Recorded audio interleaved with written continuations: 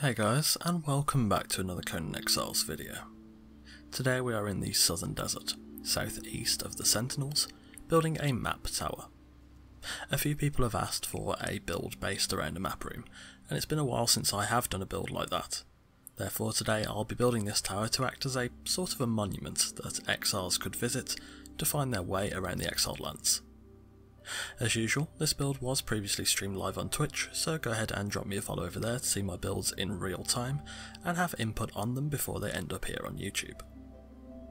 As always, today's video is indeed sponsored by NordVPN.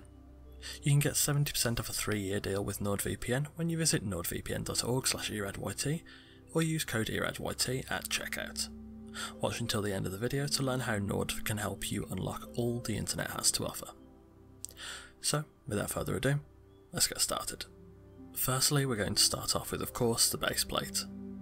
As you can see, I'll be building on this large rock, as I want the tower to be quite tall and to stand out in the environment.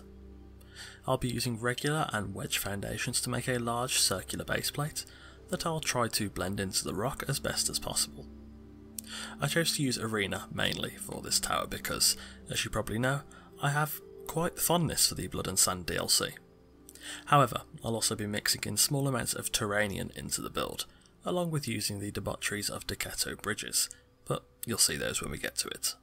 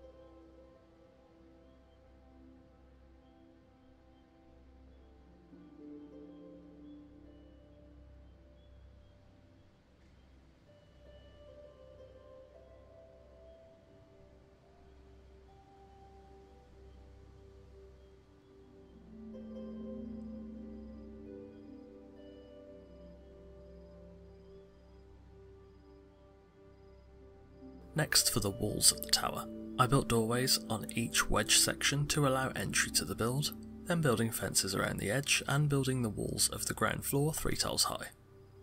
Coming into the build I didn't really have a plan of how many floors I wanted to include, rather I just built until the height felt right. I wanted to include a central staircase through most of the floors, eventually leaning up to the open air map room at the top of the tower. At the time of building, I had some strange clipping issues with the central stairs that I believe were related to the recent patch at the time of recording. However, that seems to be fixed. I think it might have been hot fixed out.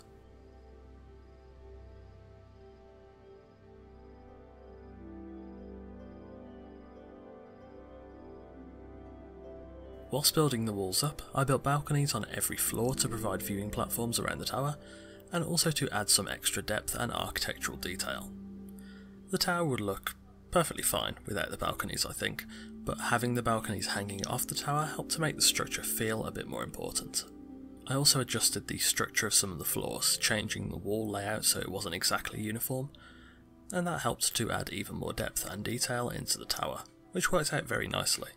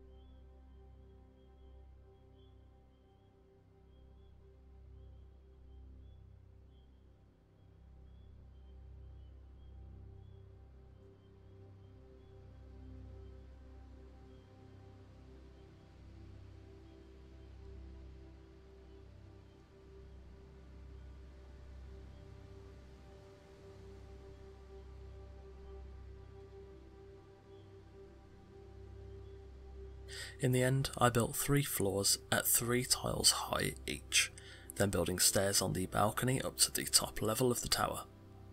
I had to extend out the tower at the top by one tile around the perimeter to be able to comfortably hold the map room, which actually turned out to look quite nice.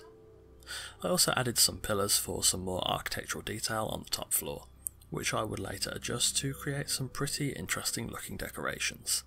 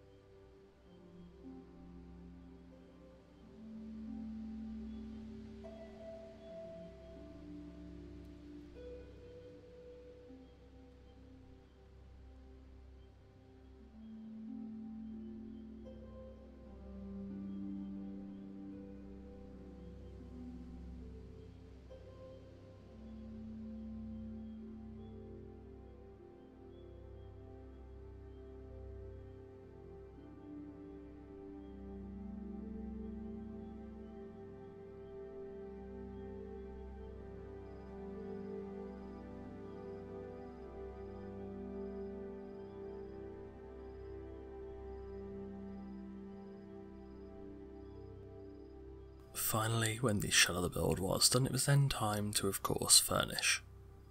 Approaching the build, I've lit the tower with Turanian wall and hanging braziers, and added a long, winding staircase around the rock to reach the tower itself. Given its height, the tower allows for some stunning views of the surrounding desert.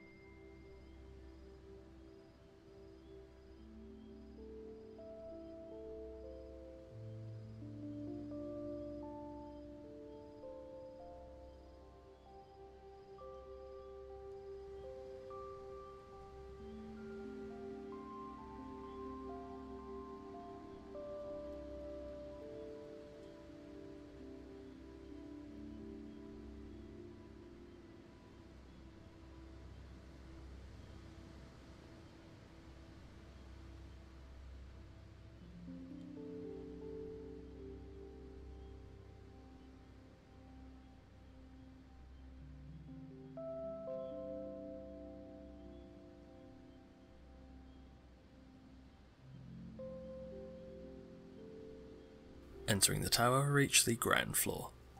As I said earlier, this tower is designed more as a monument, and thus is decorated in a minimalist yet very elegant way, to imply importance and history within the structure. I've also tried to keep the lighting warm and delicate, so as to of course make the build visible, but not to overpower the natural warmth of the arena walls.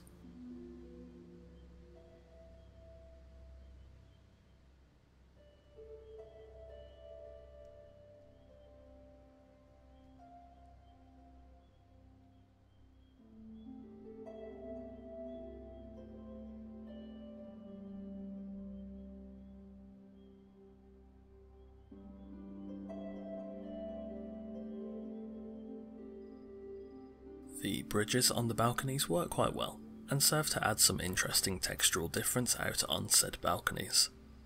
It also helps to stop the tower feeling like one huge block of arena, which is definitely a good variance to include.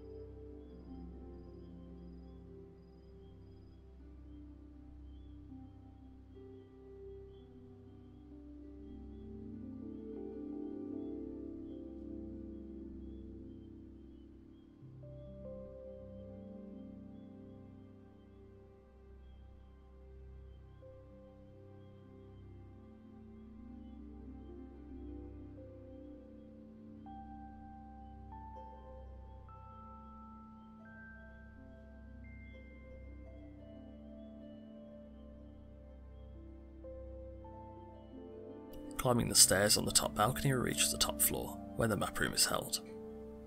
This is a spacious area decorated with bird-like structures that hold braziers. This is what I ended up doing with the pillars I placed at the end of the construction phase, and I think it works incredibly well as a decorative concept.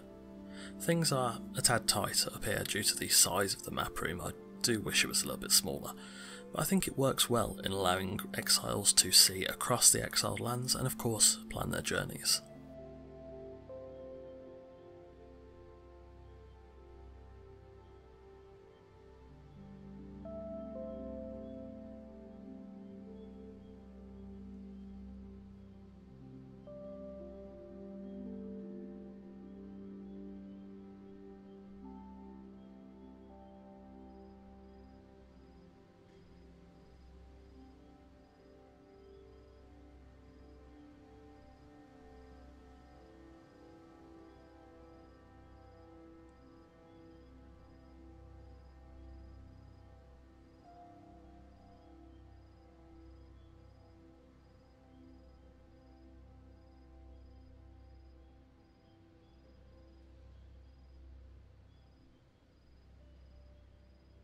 And there we have it, a map tower in the southern desert, southeast of the Sentinels.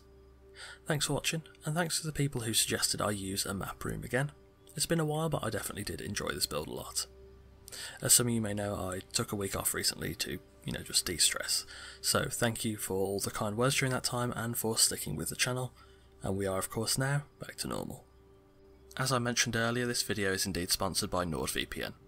If you want to stay safe on the internet and ensure your location can't be tracked by shady individuals, all whilst being able to unlock region locked content like Netflix, BBC, ITV, Hulu, HBO, and more, whilst maintaining blazing fast internet speeds, NordVPN is perfect for you. When you use my link or discount code, you can get 70% off a 3 year deal, which comes out to $3.49 a month or about £2.80 if you're in the UK, which is a bargain price for such a great service. The software is a small download and it's easy to use, one click and you are both connected and protected, and you have full access to the internet. Nord also has very strict policies on protecting your data, meaning you can browse in confidence. Visit nordvpn.org slash eradyt to claim this huge discount, or use code eradyt at checkout to get the best VPN service available on the internet, and also help to support me and the channel at the same time. As always, a big thanks to Nord for sponsoring the video. If you've enjoyed this video leave a like and let me know in the comments below if you have any build suggestions for future videos. As usual, absolutely anything is welcome.